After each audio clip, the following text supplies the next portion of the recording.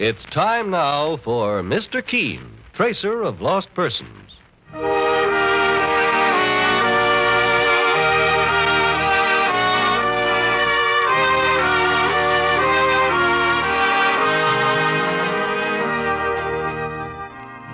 Ladies and gentlemen, Anacin and Kolynos present Mr. Keen, tracer of lost persons, one of the most famous characters of American fiction in one of radio's most thrilling dramas. Tonight and every Thursday at this same time, the famous old investigator takes from his file and brings to us one of his most celebrated missing persons cases. Tonight's case is entitled The Case of Murder and the Blood-Stained Necklace.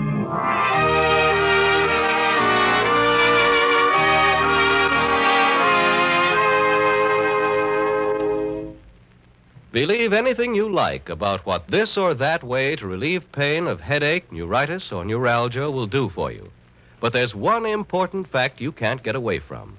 That is, thousands of users of Anacin tablets have been introduced to this remarkable product through their own physicians or dentists.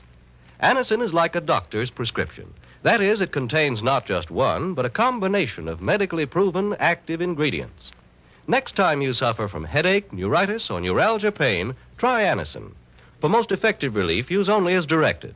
I'll repeat the name Anacin. A N A C I N.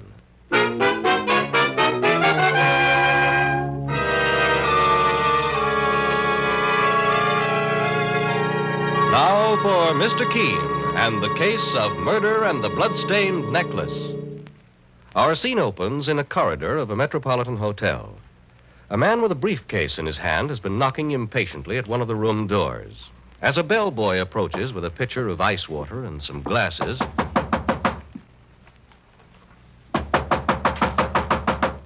Excuse me, sir. Was that ice water ordered for this room, boy? Oh, yes, sir, for Mrs. Bradley. Well, I don't think she's in. I've been knocking for over five minutes. Well, it's funny, mister. She gave me the order herself over the telephone, told me to bring the ice water right up. My name's Austin. I have an appointment with Mrs. Bradley. Have you got a key to this room? Yes, sir. Well, open the door then. You don't think there's anything wrong, mister? Now, don't ask questions. Just open the door, please, and let's have a look inside.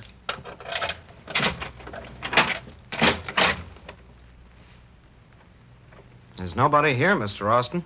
Mrs. Bradley must have gone out right after I talked to her on the phone. Put that tray down and get hold of the police. Quickly.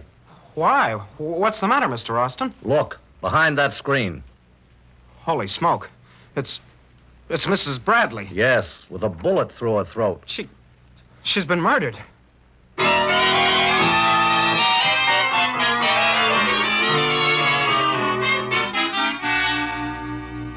and now, later, we find a friend of the murdered woman, a Mrs. Thornton, at the office of the great investigator, Mr. Keen, asking for his help. And she's saying, And that's how they found her, Mr. Keen, lying on the floor of her hotel room. My friend Grace Bradley had been murdered in cold blood. I read the details in the newspapers this morning, Mrs. Thornton. My partner, Mike Clancy here, thought the case most unusual. It's a puzzler, all right, boss. Uh, That string of pearls they found in the victim's hand, for instance, that hasn't been explained yet. Yes, I was just going to ask Mrs. Thornton about that myself, Mike. Tell me, what theory did the police have for the string of pearls your friend Mrs. Bradley was clutching in her fingers? They had no explanation for it, Mr. Keen. And they were even more puzzled when they heard Mr. Austin's story. Uh, John Austin is a well known jewel expert and appraiser. Hmm, I remember reading about him in the newspaper account of the murder. He had an appointment with Grace Bradley to make an appraisal of some jewelry. But he said the string of pearls Grace had in her hand when he found her body were only cultured pearls and worth no more than a hundred dollars. Mrs. Bradley would have hardly called him in for an appraisal of something that cheap. That's what the police thought. Well, maybe the pearls were switched and the, the killer took the real ones. I'm sure the police must have thought of that immediately, Mike. They did, Mr. Keen. But when I appeared to identify the body, and they questioned me, they decided that perhaps it wasn't the right answer. Why, Mrs. Thornton? Because I told them that, to my knowledge, Grace Bradley never owned any valuable jewelry. It's true her husband was wealthy. He died only a week ago. But Grace was a simple woman who hated ostentation. She often said she had no use for jewelry, and she never wore any. Well, Mrs. Thornton, you say Mrs. Bradley's husband died a week ago? Yes, of a heart attack. The Bradleys lived in Louisville. He was a paper pulp manufacturer and very successful. After his death, Grace decided to come to New York to live. And she left right after the funeral. They had no children. When did you find out she was in New York, Mrs. Thornton? The morning before she was murdered. She phoned me and told me she'd been in town for several days and was living at a hotel. Did you see her after she phoned you? No, Mr. Keen.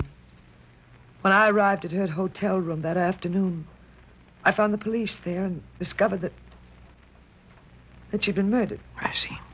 Mr. Keen, I knew Grace Bradley for many years in Louisville before I married and moved to New York.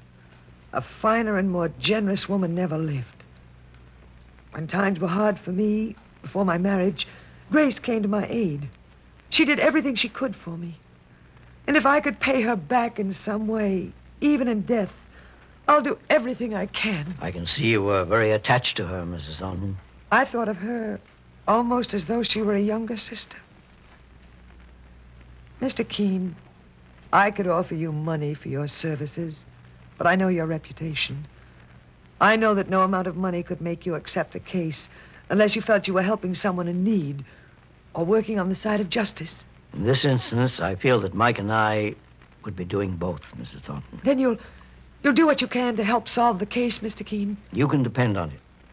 Mike, Yes, boss. get hold of the car and meet me downstairs in five minutes. I think our starting point should be at the office of Mr. Austin, the jewel appraiser, the man who discovered Grace Bradley's body. I'll give you his address, Mr. Keen. Good. I'll also need information regarding Mrs. Bradley's friends and acquaintances in Louisville in complete detail. Mike, we got our work cut out for us. And it won't be easy, judging by the circumstances. But we won't rest until we've brought Grace Bradley's murderer to trial.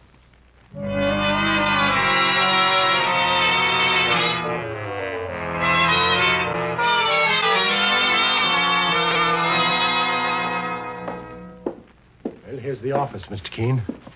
John Austin, jewel importer and appraiser. Now, let's go in, Mike. The ruby is genuine, Mr. Albright, but the ring isn't as expensive as you judged. No? I'd say it was worth no more than $500. Oh. Oh, excuse me for a moment, please. Yes, of course. Yes, gentlemen, what can I do for you? Are you Mr. Austin? At your service. My name is Keen. This is my partner, Mike Clancy. Mr. Keen, the great investigator? I'm very glad to know you, sir. And you, Mr. Clancy. Likewise, Mr. Austin. Perhaps you can guess why we're here, Mr. Austin. I presume it's in regard to the murder of Mrs. Bradley. Yes, I thought perhaps you might be able to supply us with some information, since you were the one who found her body. I only wish I could help you, Mr. Keen. But I've told the police everything I know. I was called on the telephone by Mrs. Bradley and asked to come up to a hotel suite to appraise some jewelry. Did she specify what the jewelry was? No, she didn't. As you undoubtedly know, a string of cultured pearls was found clutched in her hand. But it doesn't seem possible that she'd called me up to appraise them, Mr. Keen. They weren't very valuable, I take it. For cultured pearls, they were good, but they weren't worth more than a $100. Would you say it was possible that Mrs. Bradley thought her pearls were real pearls? I wouldn't know, Mr. Keen. Isn't it true that cultured pearls do look like real ones? That is, uh, to people who don't make a profession of handling them? Yes, that's true, Mr. Keen.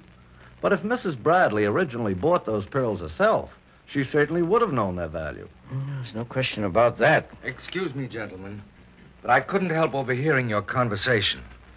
My name's Albright, Harlow Albright, and I knew the late Mrs. Bradley. You did? Oh, we weren't close friends, but I was stunned by the news of her death.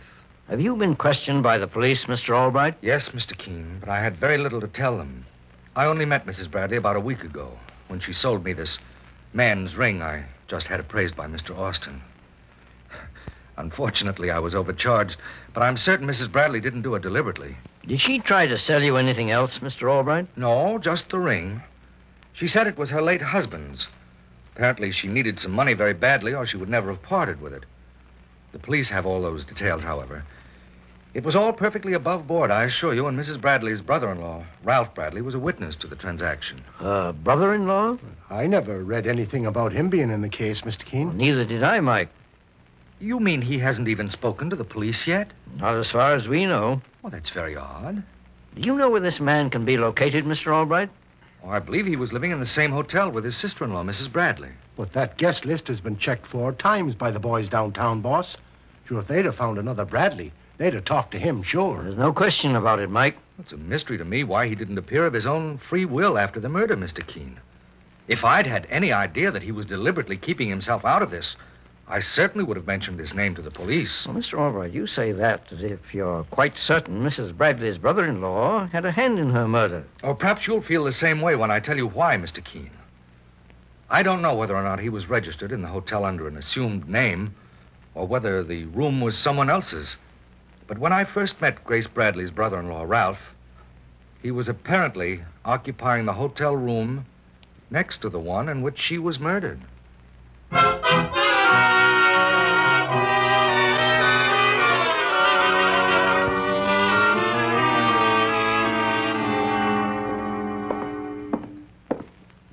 Here's the room Mrs. Bradley had, Mr. Keen and Mr. Clancy. I was the bellboy who found her body, with Mr. Austin. It's a corner suite, I see, with no adjoining room on the left. And according to the register, the room here on the right was rented by a Miss Lola Smith. She's a good looker, too, Mr. Clancy. I've seen her lots of times. Looks like a showgirl. Uh, here, young man, we won't need you any longer. Thanks a lot. Gee, wait till the guys hear I met Mr. Keen, the famous investigator, in person. All right, Mike. Now let's introduce ourselves to Miss Lola Smith, the girl who occupies the room to the right.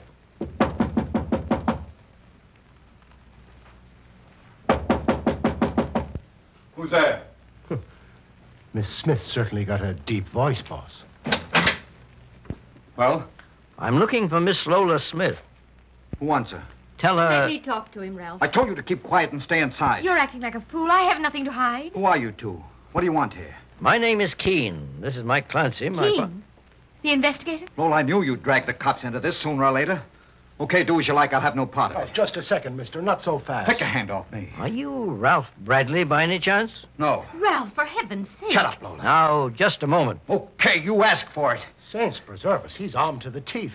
Look at the size of the gun he's toting around, Mr. Keen. Big enough to blow your head off. You stand in my way. Ralph, don't you see you're only making things worse for yourself? If it weren't for you, Lola, I wouldn't be in this fix. But you can shift for yourself now. I'm playing this my own way. And if anyone tries to follow me, I'll shoot to kill. Quick, Mike. The phone. Give me the front desk. This is an emergency. Desk, there's a man on his way down carrying a gun. Get hold of the house detective and alert the policeman on the beat. Make sure he's stopped. I'll be right behind the boss. He won't get far. Now, be careful, Mike. He's dangerous. Well, I. I guess Ralph Bradley's in trouble. He's not the only one, Miss Smith, if that happens to be your name, which I doubt very much. You're in this, too. Apparently, we found the first link in the chain surrounding Grace Bradley's murder. And in a very short time, I hope to weld the chain completely around the killer's wrists.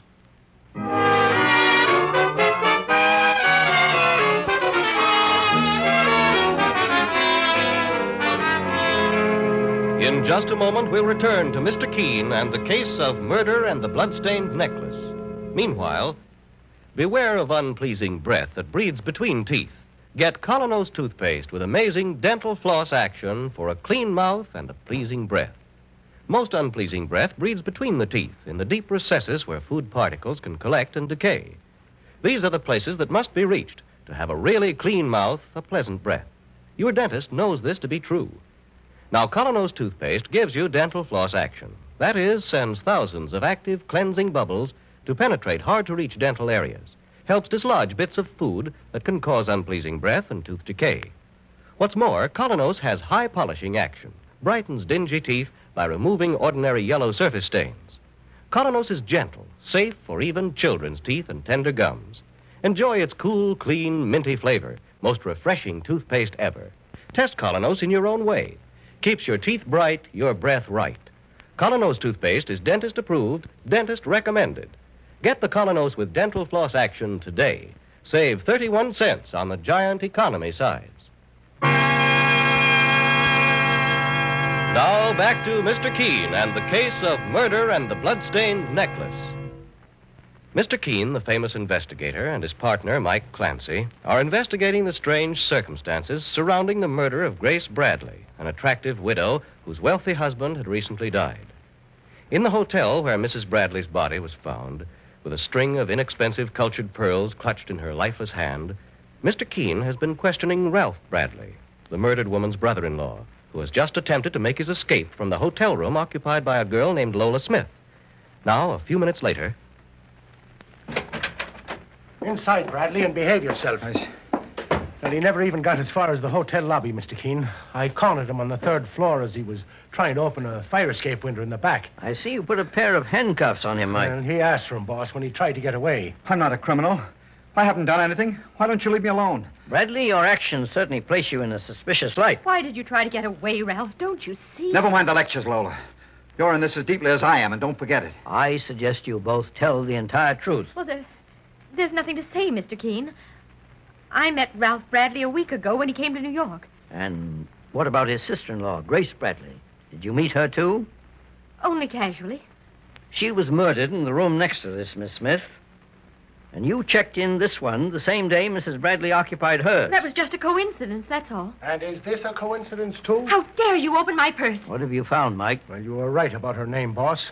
According to these cards in her pocketbook, her name isn't Smith any more than mine is. It's Cook. That's not the first time she changed it either. I wouldn't talk too much if I were you, Ralph. That's what I said to you, Lola. But since you've decided to leave me holding the bag, I'm going in for a little self protection of my own. And what have you got to say, Bradley? I. I advise you to be honest. If I detect any trickery in your story, I'll have my partner, Mike Clancy, escort you to headquarters at once. All right. I. I followed my sister in law, Grace Bradley, to New York after my brother died. Why? Because I thought she cheated me out of my rightful share in his estate. Had his will been read yet? No. For all I know, she destroyed my brother's will and claimed his money and property as his closest survivor. What did you expect to gain by following her here? Information, maybe. I met Lola here and introduced her to Grace.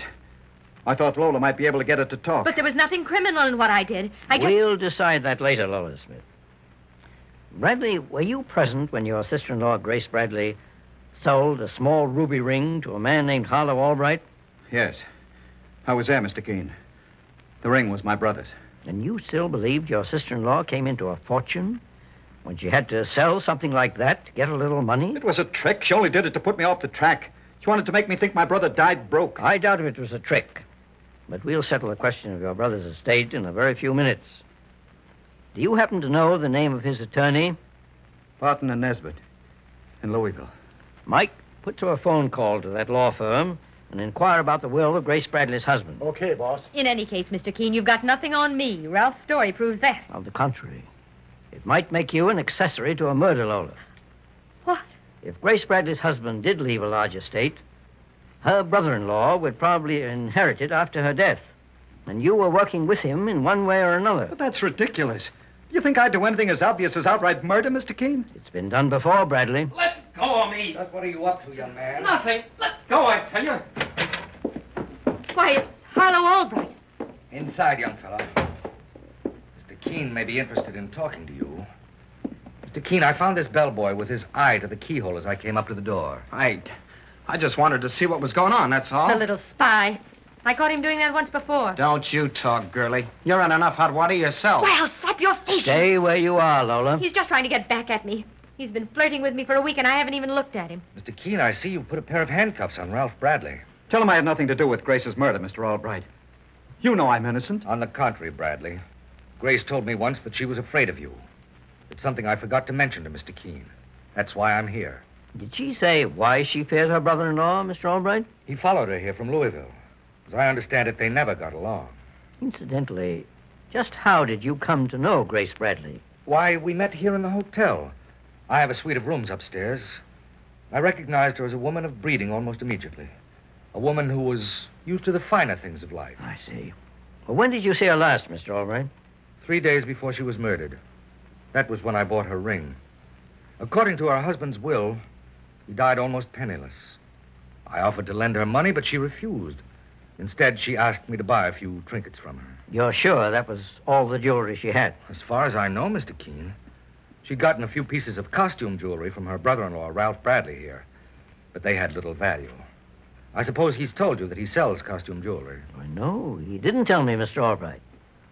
Bradley, were there any cultured pearls in your stock of costume jewelry? You're trying to trap me, all of you.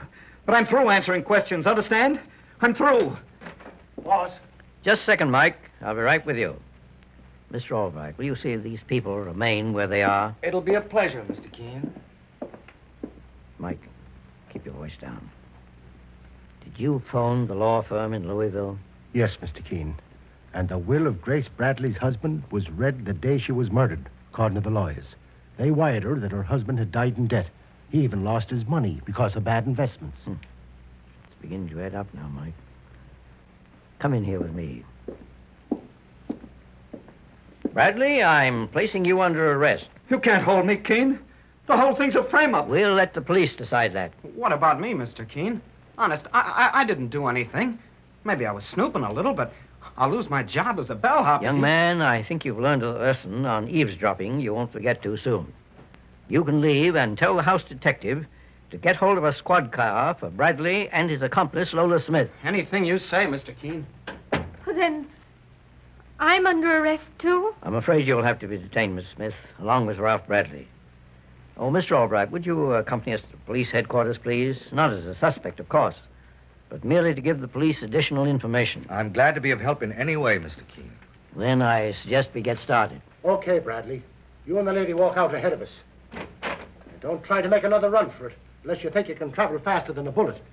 Mike, one second. I uh, just want to make sure they're all out of earshot. I've got some instructions for you. What is it, Mr. Keen? The case isn't finished yet, but will be shortly. I think we'll all be due for a little surprise. Now, when the police have taken over, meet me downstairs in the lobby. We're going to find the final link in that murder chain.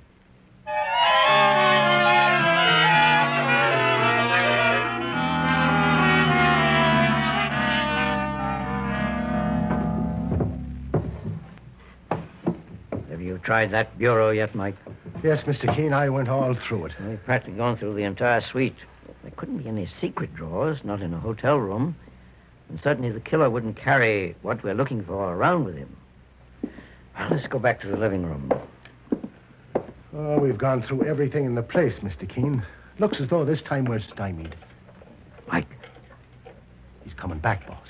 He's opening the door. Yes, I was expecting him. Come in, Mr. Albright. You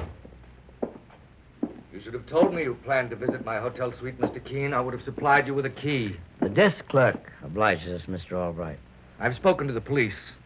They're holding Ralph Bradley and his lady friend on suspicion of murder. They won't be held for long. Oh, no? You see, I believe that uh, both innocent. Well, then, why did you have them sent to police headquarters? I wanted to search your suite undisturbed. And it was a convenient way to get you out of here.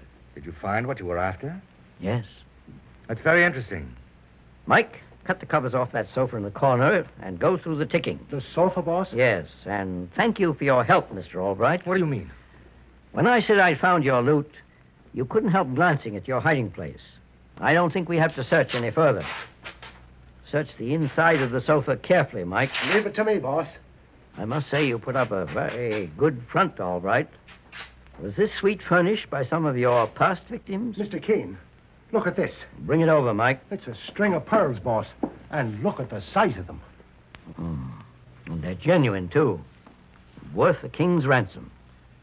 They belong to Mrs. Bradley, and Albright murdered her to get them. Are you quite certain of that, Keen?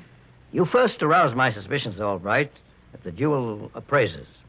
I imagine you went there to find just how much Mr. Austin knew about these missing pearls. Uh, this conversation's beginning to bore me. But you made a mistake when you mentioned knowing Mrs. Bradley was penniless. She didn't learn the contents of her husband's will until the day she was murdered. And you couldn't have known about it unless you saw her at that time and not several days before, as you contended. She knew she was a pauper even before the will was read. She sold me that ring to get some money, didn't she? Yes. And you bought it as part of your plan. You learned she owned a string of fabulous pearls. You never had money enough to buy these pearls, so you decided to steal them. You asked to see them once more before Mr. Austin, the appraiser, came, then tried to switch them with a string of inexpensive cultured pearls. But Grace Bradley caught you, and you shot her. So you put the cultured pearls in her hand, hoping it would implicate her brother in law. There's one thing you still haven't proven yet, Keen. How do you know these pearls were Grace Bradley's? I may be able to prove that even faster than you think. There. What are you doing? Breaking the string that holds the pearls together. Mike, take a look at this. Why, there's dried blood on parts of that string, boss. Yes. Mrs. Bradley was wearing the pearls when she was shot in the throat. Harlow Albright wiped off the obvious blood stains from the pearls, but he neglected the bit of string between each pearl. Is that proof enough, Albright? I'll kill you. No, you. you I'll- won't, mister. Not unless you want a taste of what your victim got. Keen, listen to me. Those pearls are priceless. We can share them and both be rich.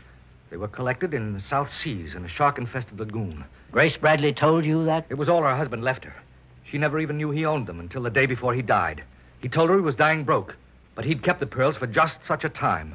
We can sell them for a million dollars, and no one would be the wiser. Where you're going, Albright, even a million dollars wouldn't do you any good. Take him away, Mike. From here, Harlow Albright goes to trial for murder.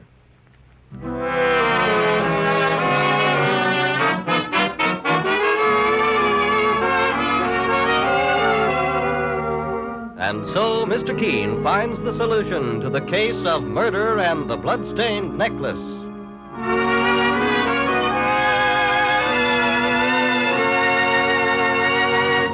The next time you're suffering from the pains of headache, neuritis, or neuralgia, try Anacin. You'll bless the day you heard of this incredibly fast way to relieve these pains. Now, the reason Anacin is so wonderfully fast acting and effective is this Anacin is like a doctor's prescription. That is, Anacin contains not just one, but a combination of medically proven active ingredients in easy to take tablet form. Thousands of people have received envelopes containing Anacin tablets from their own dentist or physician, and in this way have discovered the incredibly fast relief Anacin brings from pain of headache, neuritis, or neuralgia. So next time such pains strike, take Anacin. For most effective relief, use only as directed. Your druggist has Anacin in handy boxes of 12 and 30 and economical family size bottles of 50 and 100. The name is Anison, Anacin, A